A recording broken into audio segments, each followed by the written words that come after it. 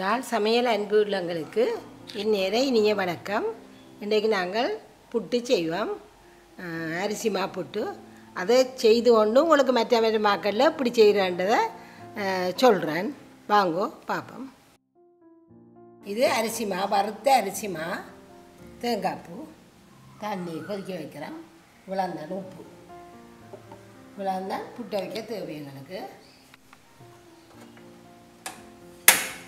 தண்ணி கொதிக்கட்டும்.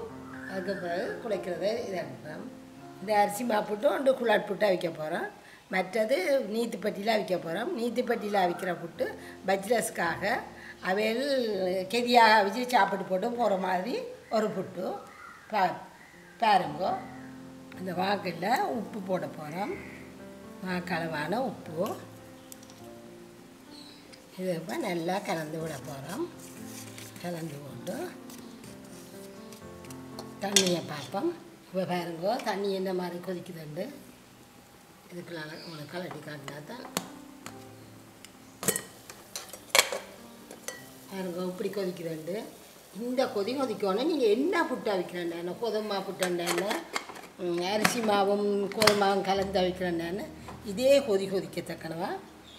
நேரடியாக ரப் பண்ணி தண்ணிக்குள்ளே விடுங்க. இந்த புட்டு மாக்குள்ளே விடணும். நல்லா கொதி நீங்கள் கோதம்மா புட்டை வச்சாலும் இதே மாதிரி ஒருக்கா செய்து பாருங்க. பேர்ந்து சொல்லுங்க. இவ்வளோத்தையும் விட்டுட்டு. நல்லா கொதிக்க கொதிக்கத்தான் விடணும்மா. அப்போ தான் உங்களுக்கு புட்டு நல்ல மென்மையாகவும் பெறும். நீங்கள் காலம்புறா வைக்கிற புட்டு நேரம் சென்றாலும் இந்த இறுகாது. சில புட்டுகள் நல்லா இறுகி போய் நிற்கும். இது அப்படி இறுகாது. இப்போ இதுக்குள்ள தண்ணி காணாது. இனி கொதிச்ச தனியாக அடுப்புலானே இருக்குது அதையும் எடுத்து கொஞ்சம் கொஞ்சமாக விட்டு விட்டு விட்டு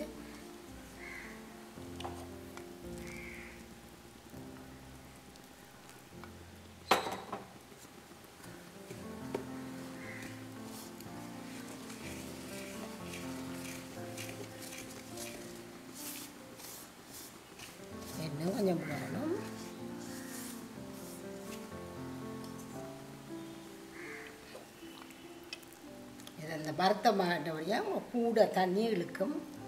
மற்ற கோதுமை அதுகளை அவிக்க தண்ணியை வடிவாக கவனிக்கணும். இதே மாதிரி விடையப்படாது. அது கொஞ்சம் தனியாக எடுக்கும் இது வறுத்த மாட்டு வழியாக கொஞ்சம் கூட தண்ணி எடுக்குது இதுக்குள்ள நான் கோதுமை மாவோ இன்னும் ஒன்றுமே கலக்க இல்லை. தனி அரிசி மாற்றேன் இதை நீங்கள் எப்படி அமர்த்தி இந்த அகப்பையும் இது இதுக்கும் முட்டை தக்கணும் அமர்த்தி அமர்த்தி செய்யணும். மா ரெண்டுக்கும் இடையில் நல்லா அமர்படணும் நீங்கள் இப்படி அமர்த்திக்கல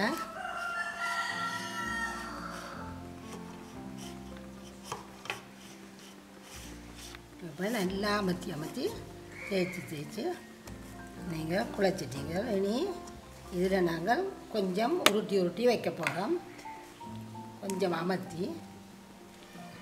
இதெல்லாம் குழால் புட்டுக்கு தான் இந்த வேலை.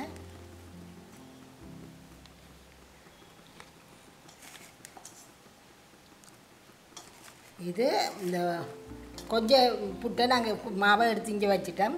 இதுக்குள்ளேன்னு கொஞ்சம் தண்ணி விடணும். இது கொஞ்சம் தண்ணி காணாது. இது தண்ணியை விட்டுட்டு இதை புறம்பா வைப்போம். இது நான் குழால் புட்டு உங்களை செய்து காட்டுறேன். இப்போ இந்த சுடு தண்ணியை கொஞ்சம் கூடவா விட்டு இதுவும் கொஞ்சம் கூட வேணும். நீத்து நீத்துப்பட்டி புட்டுக்கு. இது நீத்துப்பட்டி புட்டு கொஞ்சம் தண்ணி தன்மையாக இருக்கணும். கொஞ்சம் ஊரட்டும் கிடந்து நாங்கள் அதுக்குள்ளேயே குழல் பொடி அவிச்சிட்டு அங்கே இதாக விரவம் இருக்குது இதை நாங்கள் அப்படி மெல்லமாக உளுத்தி இதை போட்டு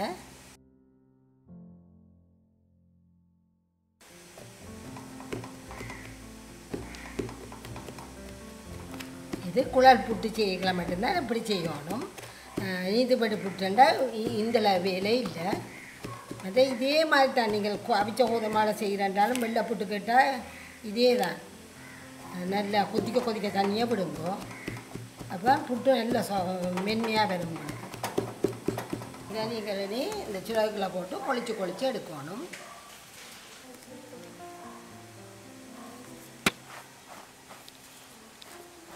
இப்படி இப்படி கொளிச்சு கொளிச்சு இந்த சின்ன புட்டுக்கள் வரும். அதை நாங்கள் இப்படி எடுத்து எடுத்து புறம்ப வைக்கணும். இதை வச்சா தான் குழலுக்குள்ள போட கணக்கான புட்டு வேணும். பெருசுகளை ஒரு கொச்சி போட்டு கொளிச்சு கொளிச்சு எடுக்கணும்.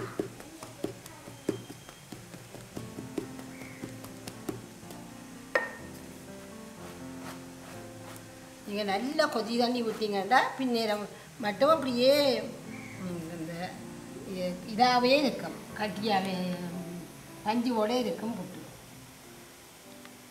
இப்போ சின்ன சின்ன கொத்தியா கொத்தி முடிச்சிட்டோம். இதுக்குள்ளே கொஞ்சம் தேங்காய் போட்டு திறந்து விடுவோம்.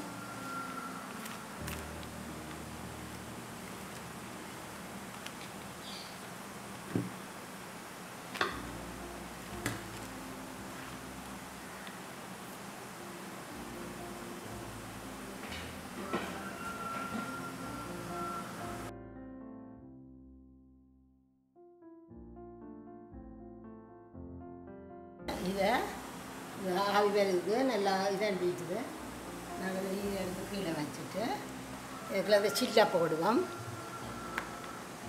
இதில் போட்டால் சரியாக விழுந்துட்டு பார்ப்போம்.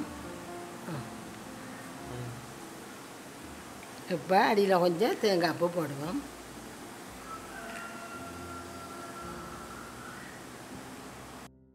கொஞ்சம் புட்டு போடுவோம்.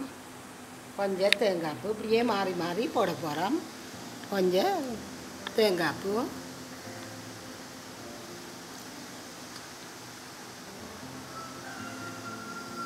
கொஞ்சம் மா. கொஞ்சம் தேங்காய் போட்டு அதுக்கு மேலே ஒரு கொஞ்சம் போட்டு கொதிக்கிற பானைக்கு மேலே அப்படியே வைக்க போகிறோம்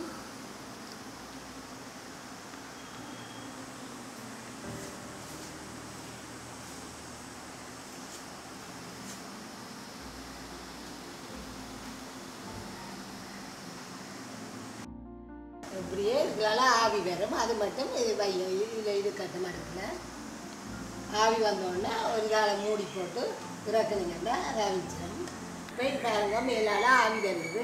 இனி நாங்கள் இதை மூடி ஒரு ரெண்டு நிமிஷம் இப்படியே விடுவோம். சரி, இதை இறக்குவோம். இறக்கி இப்படியே கொஞ்சம் உடனே தள்ளாதுங்க. உடனே தள்ளினா இந்த அஹ், இதுகள் எல்லாம் ம், அஹ், பிஞ்சு போகும் அப்போ ரெண்டு நிமிஷம் இந்த சூ கொதி அடங்கு இந்த ஆவி அடங்க ரெண்டு நிமிஷம் இதை வையுங்க வாங்குவோம் இப்போ அஞ்சு நிமிஷம் ஆச்சு நீ இதை என்ன தள்ளி பார்ப்போம்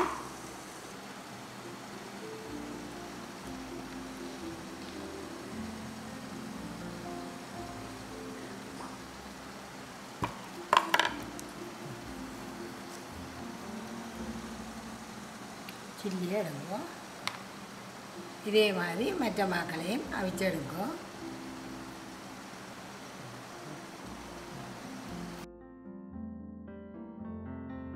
இது கொஞ்சம் ஆறுனா பிறகு தான் நீங்கள் தூக்குனா முழுசு முழுசாக வரும். இங்கே கோப்பைக்கும் இப்போ எடுத்தால் உடைய பார்க்கும். கொஞ்சம் ஆறட்டும் வெள்ளேன் இந்த புட்டை இந்த புட்டை இப்படியே மெல்லமாக எடுத்து எடுத்து வைப்போம். ஆறுனா தூக்குனா முடியாது.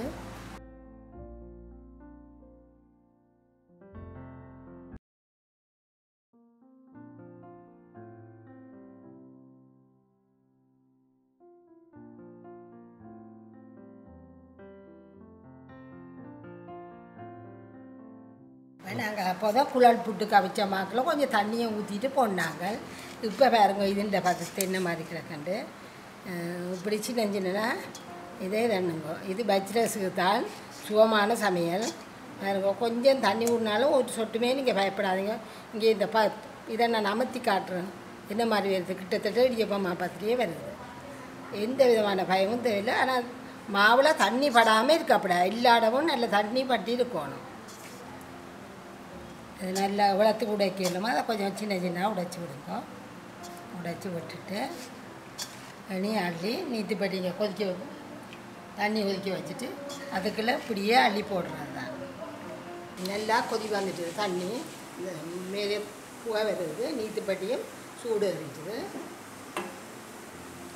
அப்படியே இதுக்குள்ள நீங்கள் ஒன்றுமே சேர்த்து இல்லை இது அள்ளி அமர்த்தாது அது செய்யக்குள்ள மெல்ல மெல்லமாக செய்வாங்க கையில் விரிக்கி அமர்த்தியும் ஒன்றுமே செய்யப்படாது.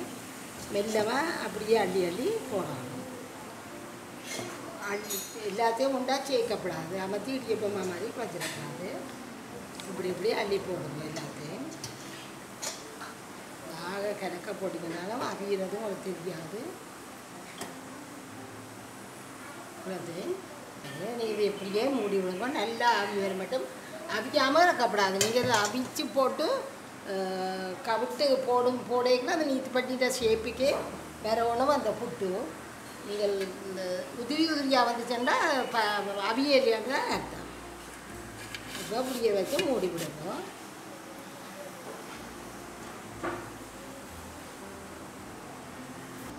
நல்லா அவிஞ்சு நல்லா ஆவி வரும். ஆவி வந்துச்சுட்டா தெரியும் உங்களுக்கு. ஆவி பார்த்துட்டு இப்போ தூக்கி பார்ப்போம். நல்லா ஆவி வருது. இப்போ தொட்டு பார்த்தீங்கன்னா ஒட்டாது கையில். நீங்கள் என்ன மாதிரியும் அமர்த்தினாலும் உருட்டி கையில் ஒரு போலை மாதிரி வர முடியும் ஒட்டாது. இதை இப்படியே இறக்கி போட்டிங்கன்னா பாருங்க நீத்துப்பட்டி மாதிரியே வருது. ஒட்டி ஒட்டியா? அல்லது அவியாட்டி ஒட்டி ஒட்டியாக விழும். இப்போ நீ இந்த மாவை என்ன செய் இதை நல்லா ஆற விடணும். எவ்வளோத்துக்கு ஆறுதோ அவ்வளோத்துக்கு ஆற விடணும். நீங்கள் இதை ஒரு ஒரு நிமிஷத்தாலே தட்டி பிறகு விடுங்க. உள்ளுக்குள்ள இருக்க கொஞ்சம் புழுங்கட்டும். தட்டி நல்லா ஆற விடணும். ஆற விட்டா அப்புறம் வெந்து பார்ப்போம். மிச்சத்தை இதை அப்படியே தட்டி நல்லா நல்ல ஒரு சொட்டு சூடும் இருக்கக்கூடாது நல்லா ஆறணும் சொட்டு சூடு இருந்துச்சுன்னா களியாக போயிடும். நல்லா ஆறணும் அப்படியே கிட்டத்தட்ட ஒரு பத்து நிமிஷத்துக்கிட்டவா செல்லும். இது முழுக்க நல்லா ஆறணும் பிறந்த ஒரு சட்டியில் போட்டிங்கன்னா அப்படியே ஆறிடும் ஒரு பத்து நிமிஷம் செல்லும் சரியா? இந்த கணக்கு பார்ப்போம்ல உள்ள செல்லுதாண்டு இப்போ நல்லா இதில் விட்டு சொட்டு. இது இல்லை ஆனால் கண்ணீரம் எடுக்கல. பத்து நிமிஷம் தான் எடுத்தது. இது ஆற இது குழைக்கிறது புட்டுட்ட நாங்கள் புட்டு குழைக்கிறோம்பா கொஞ்சம் கூட இடிச்சப்பத்துக்கு புதல் பதம் கொஞ்சம் தண்ணியை கூட விட்டிங்கன்னா சரி. இதை இனி இந்த கிரைண்டர் கப்புக்கெல்லாம் போடுங்க. ரெண்டாக பிரித்து இதுக்குள்ள தேங்காய் பூ போடுங்க. தேங்காய் பூ பச்சையாக போடுறது கூட நல்லதானே அப்போ தே- பச்சையாகவே போடுங்க.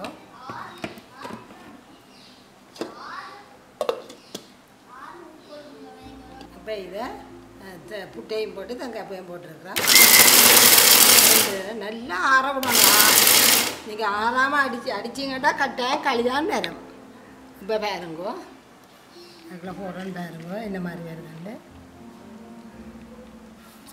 பாருங்க புட்டு. குழல் புட்டிலும் பார்க்க நல்ல புட்டு நல்ல சாஃப்டாகி இருக்கும் இறுக்கி அமர்த்தி காட்டுறேன் உங்களுக்கு. இங்க பாருங்க. எண்ணெய் மாதிரி அப்படியே இங்கே ஒட்டவும் இல்லை ரெண்டாம் இல்லை. திறமான பூ. இது திறமான புட்டு. இதோட நீங்கள் கிளம்புறையில் ஒரு முட்டையை பொறிச்சு போட்டு சாப்பிட்டு பண்ணு பண்ணு போனீங்க நல்ல ஒரு சாப்பாடு. மாக்கில் கொஞ்சம் தண்ணி கூட விட்டுட்டு உப்பும் போட்டு குழச்சி போட்டு அப்படியே அள்ளி நீதிப்படியில் அவிக்கிறது கொஞ்சம் சின்ன சின்ன துண்டாக கையால் தண்டிட்டு பேந்து கிரைண்டரில் அடியுங்கோ. நல்ல புட்டு வரும் செய்து பாருங்க செய்து பார்த்துட்டு எப்படி இருக்கான்னு சொல்லுங்க.